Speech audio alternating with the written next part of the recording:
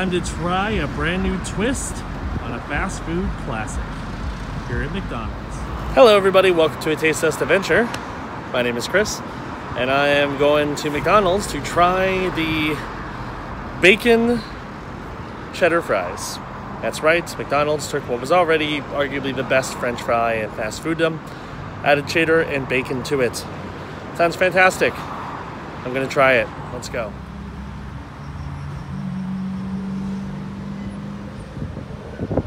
That doesn't look delicious, I don't know what does.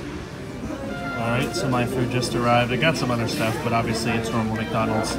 This is what I'm looking for. Let's open it up. Oh yeah.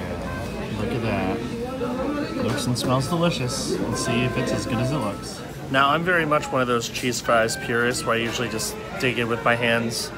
Um, but for the sake of cleanliness, I'm going to use a fork. So here are some McDonald's cheesy bacon fries. Let's try them out.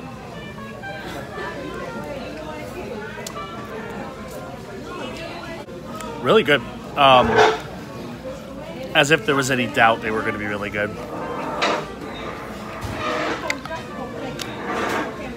What impresses me the most, honestly, is the cheese sauce. Because it's like, it's really creamy. Sorry, trying to film with one hand while getting fries on my fork is challenging. Um, the cheese sauce is a really good flavor, almost like a Velveeta style flavor to it. It might be Velveeta, who knows. Um, and of course, the bacon is nice. It's it's not as crisp as I would probably like it to be, but it's good. And then McDonald's fries are McDonald's fries. So I'm a fork pull. Thumbs up. Delicious as expected. So there you go. That's my review of the McDonald's cheesy bacon fries. If you like McDonald's fries and cheese and bacon, naturally you're gonna like this. It's really quite tasty. So get them while they're here because I know they're a limited time thing. So check them out. They're worth your time. Anyway, that's it for this Taste Test Adventure. Hope you enjoyed it, and we'll see you next time. Bye.